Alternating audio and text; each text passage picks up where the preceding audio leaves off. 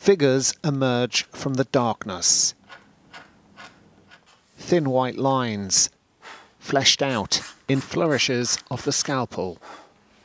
Well, this is the, the reading of the proclamation outside the GPO. So it's uh, Pádraig Pearse here. David Rooney has produced scraperboard illustrations of 42 men and women who, in one way or another, were deeply involved with the Easter Rising of 1916. A sizable project which has clearly left its mark.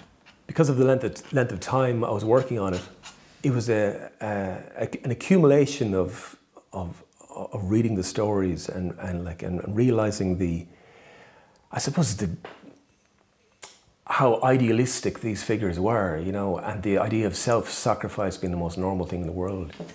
The portraits, which began as pencil drawings, were commissioned by the Office of Public Works and the Royal Irish Academy.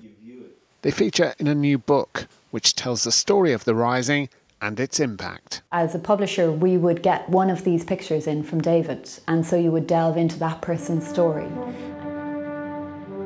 and you would see where he had placed him and why he'd placed him there and the objects around him in the picture.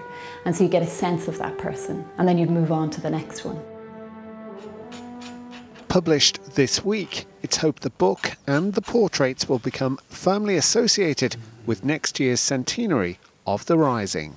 Philip Bromwell, RTE News.